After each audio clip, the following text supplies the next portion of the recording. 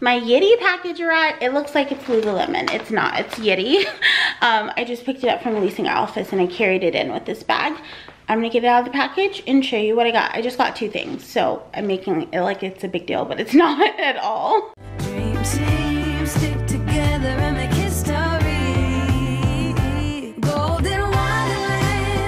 Okay, so this is the major label off the shoulder top. I'm super close because um, I want you to be able to see that it has like the print that says Yitty all over it. It's just kind of like meshy. You can see your bra through. I feel like Aunt Viv when she went to that dance audition. So these are uh, the mesh me leggings or whatever.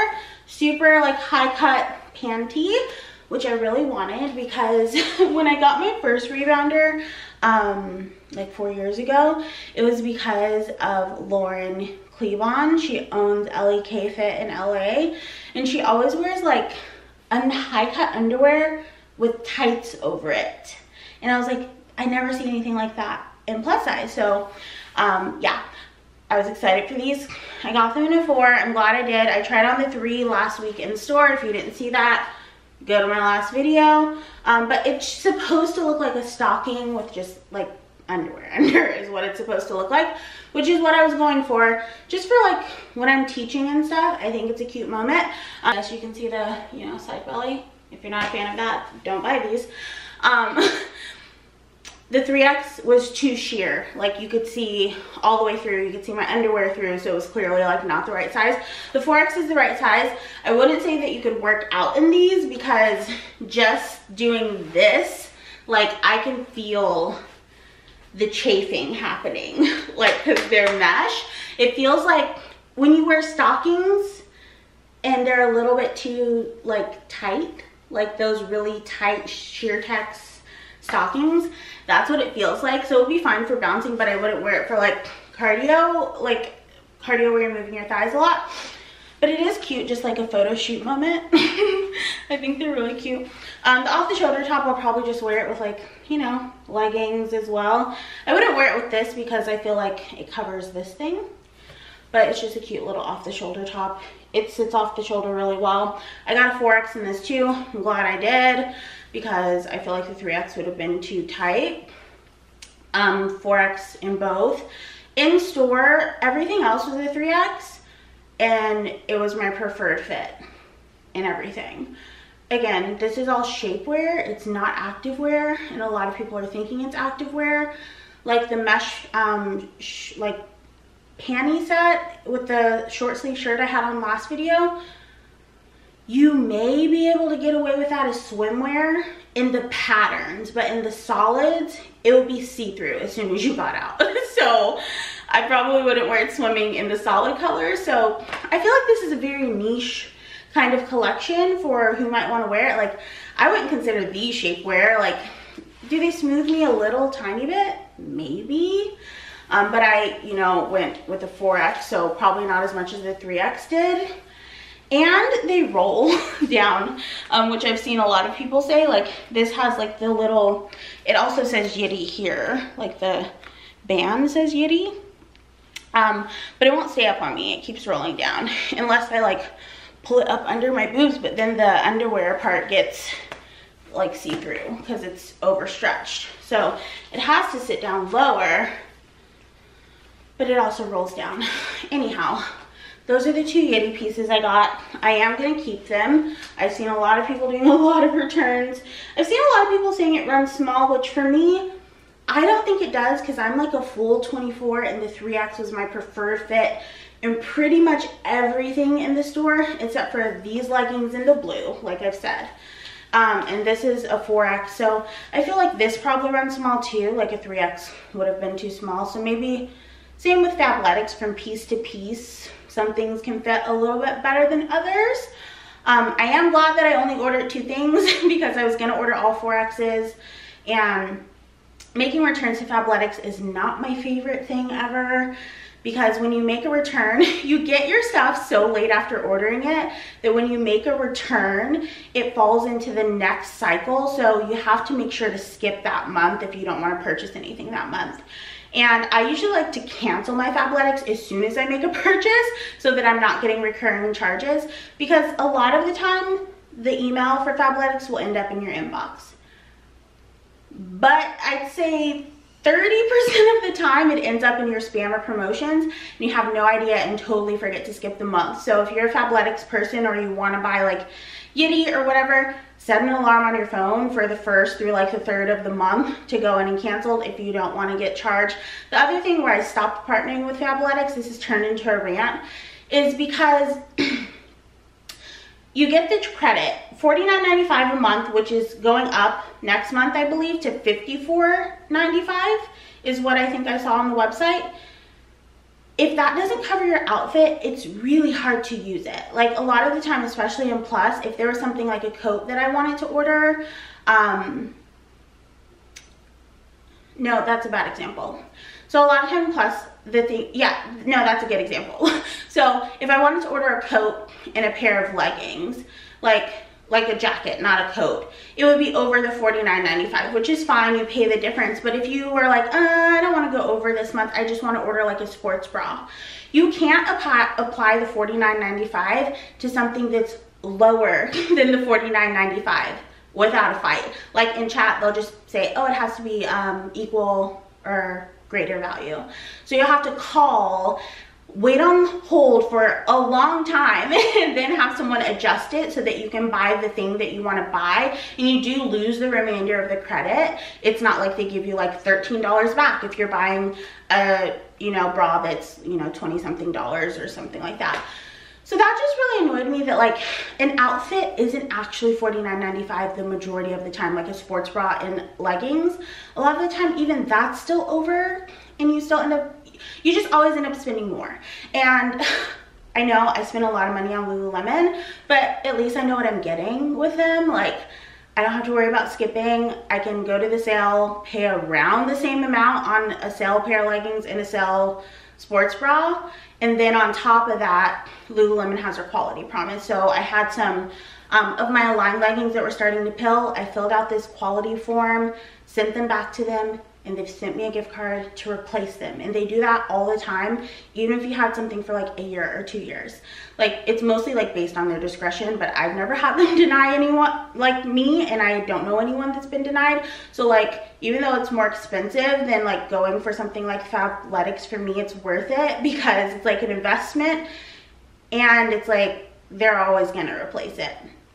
With this stuff like I have some Fabletics stuff that has hold up, held up over the years, but I feel like the quality can be hit or miss. Same thing with people are saying with Yitty because it's a Fabletics company. They've felt like the quality between things have been mess. Sometimes the fabrics are stretching out and the you know the print isn't as opaque as they'd like it to be. So I know people that love and stand Fabletics. I don't dislike Fabletics. It's just not my favorite business model, the whole subscription business model, because I feel like it is intentionally making you pay more than you're already paying and I don't know how those emails work out, but I feel like the email thing's a little shady because I don't always get my skip email. But yeah, anyhow, that's my Yitty review. Luckily, I do not have to do a Fabletics return. I do really like these. Uh, yeah, I went super basic and I tried on more fun stuff in the store. If you want to see that, of course, go to my last video. Rant over. Should I give you guys a bounce to like chill it out? All right let's chill it out. we got a little heavy there. um, I think this is like $50 for both things, which not bad. I think it was 51, 55 or something like that.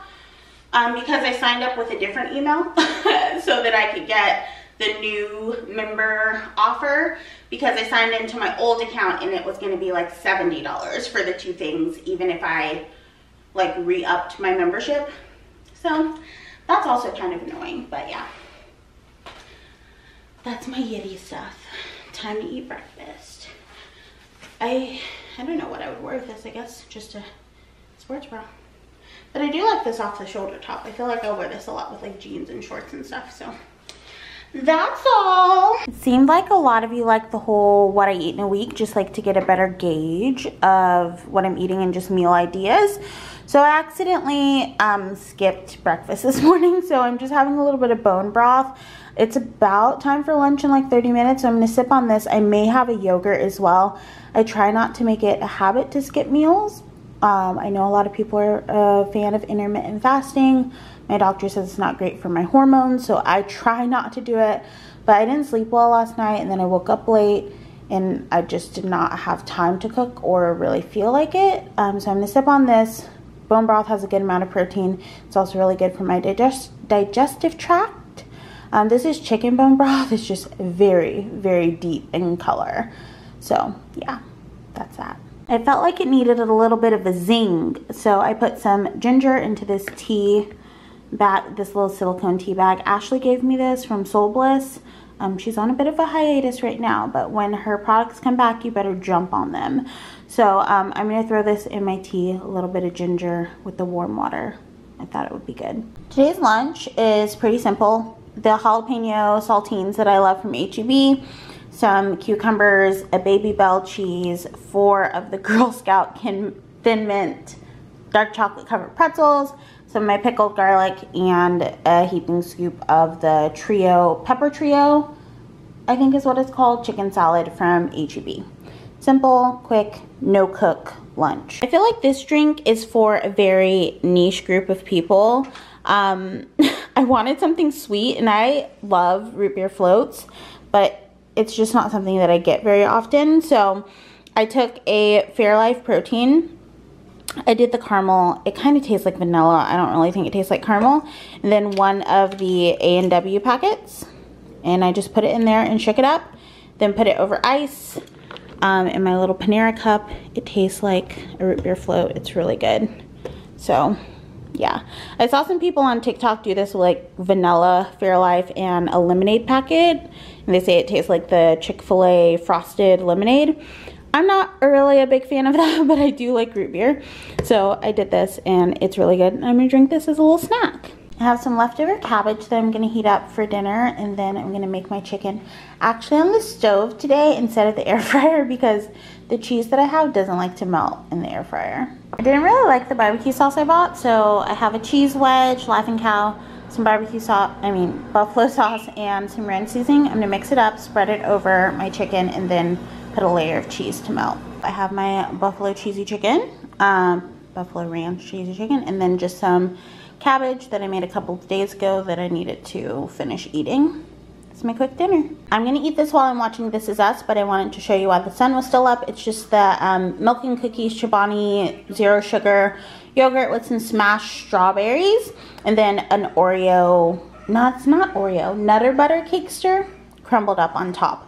I'm gonna let it refrigerate for a little bit because the strawberries make it a little bit watery, but it thickens back up and then I'm gonna eat it a little later. I'm have one of these guys I found at the $1.25 tree. I also found the um, Nutter Butter Cakesters there that I've been eating on my yogurt. So I'm gonna drink one of these. They looked interesting. They had a few different flavors, but I just wanted to try one. And this is the worst week to film. Um, this is the second time this week that I did not wake up in time to like eat breakfast before I have to be on a Zoom call. So this is just a Fairlife with um, one scoop of like decaf espresso or coffee in it. Here I am, my breakfastless self. I could not fall asleep like last night, not last night, but the night before I didn't go to sleep till like 3 a.m. Nice. And then I had to be up pretty early and then I was tired last night, so I went to sleep, but I felt like I needed to catch up on sleep, so I didn't get up until pretty late. I'm having some water. Usually I would have my collagen in it. this Alani Nu collagen, everyone hyped it up so hard, um, but it doesn't dissolve very well. So I feel like I need a frother, like to get another frother because I dropped mine on the floor and it broke in order to dissolve it. Like the Vital Proteins one back there, it dissolves if you just use hot water, it dissolves really easily. This one doesn't dissolve really well in hot or cold water and I cannot drink a clump or I will, so I need to order a frother so that I can drink those. The flavors are good, but not good enough. I prefer like just my beauty water, so I probably won't buy them again. And if I could return them, I probably would. So yeah, Don't love them. Actually, I should look at Vitamin Shop's return policy because yeah, they're they're not great. I wouldn't recommend. I wasn't feeling the coffee, so I put it back in the fridge and I'm gonna have a strawberry one instead. Take five. I heard my dietitian's voice in my head. So I just blended the protein shake, added some berries for some fiber, banana for some carbs, peanut butter, hemp seeds, and chia seeds.